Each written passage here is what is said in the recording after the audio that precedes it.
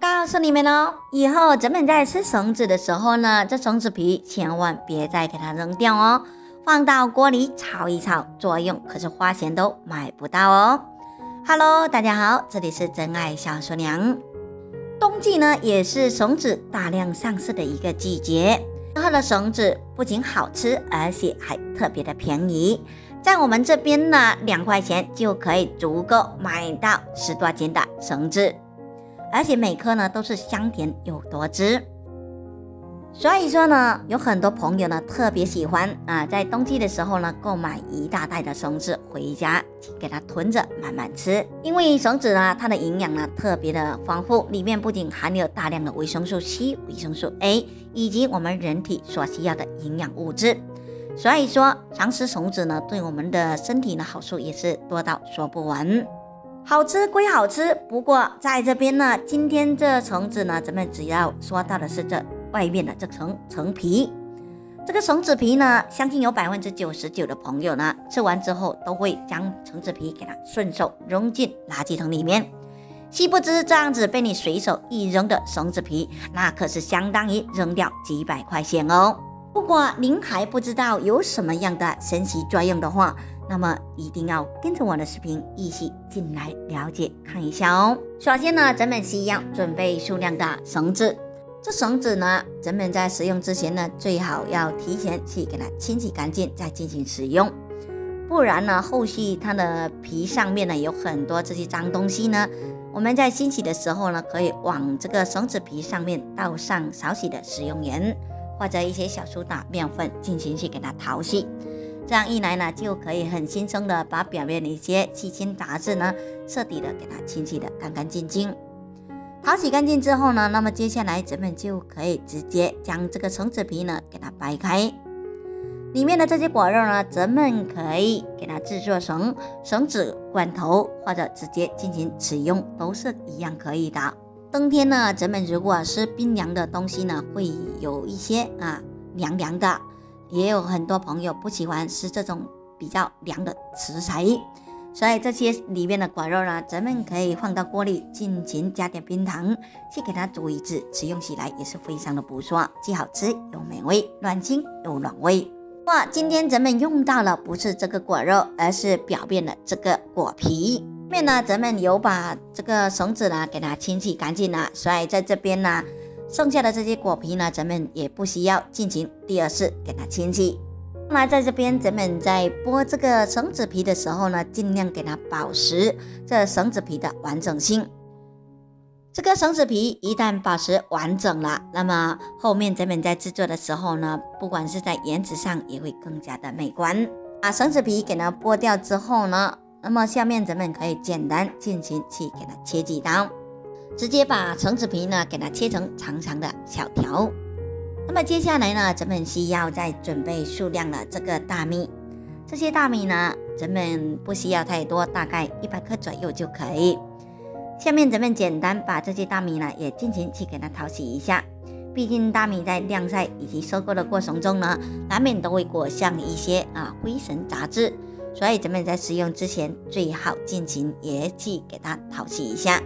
在这边呢，简单清洗两遍就可以。如果清洗数次过多，可能会导致这大米里面的营养大大的流失。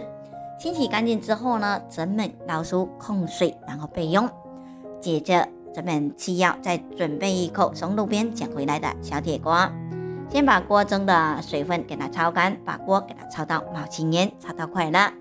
下面呢，咱们再把这个切好的绳子皮简单放到锅中。进行去给它烧一烧，先把它进行翻炒个五分钟，把表面的一些水分呢彻底的给它翻炒干。那么最后咱们再把过滤干净的这些大米呢也一同给它放到锅中，然后再开启小火，慢慢的去给它翻炒。不过咱们在翻炒的过程中呢，切记全程呢这火候一定要控制好，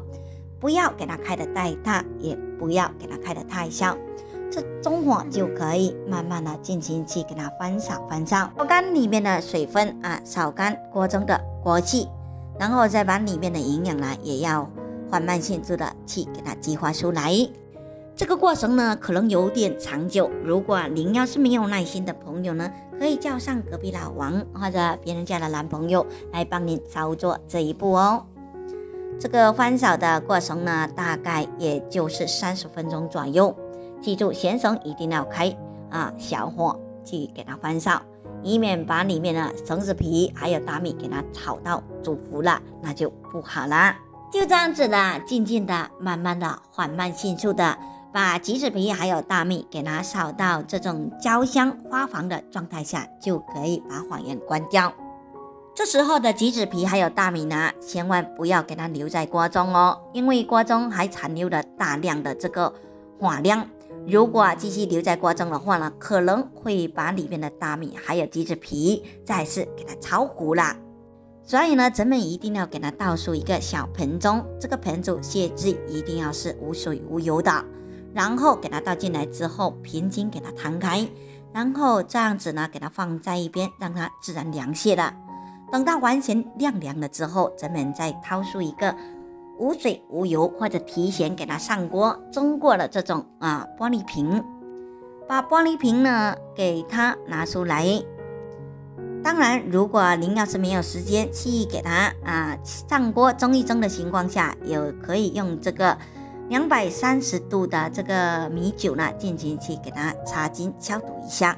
之后咱们就可以用它来使用了。可以把这些晾干的橘子还有大米呢，一同给它装到这个瓶罐中。橘子皮加大米放锅中炒一炒，这种做法相信大家都没有见过吧？真别说这种做法了，那作用可是花钱都买不到哦。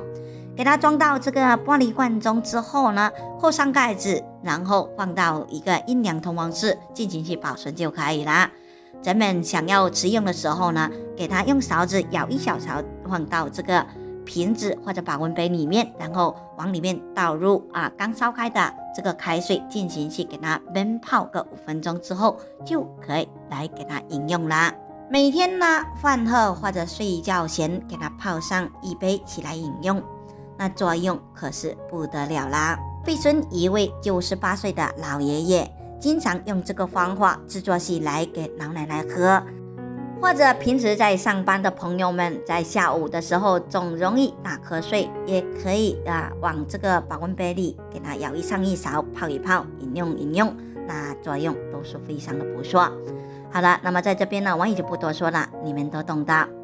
那么这期的视频呢，就跟大家讲解到这里了。如果大家觉得我的视频讲解的对你有所帮助的话呢，不要忘记了用上您那宝贵的双手，帮我点个赞、加个关注或者转发给身边的朋友。感谢您的观看，我们下个视频不见不散。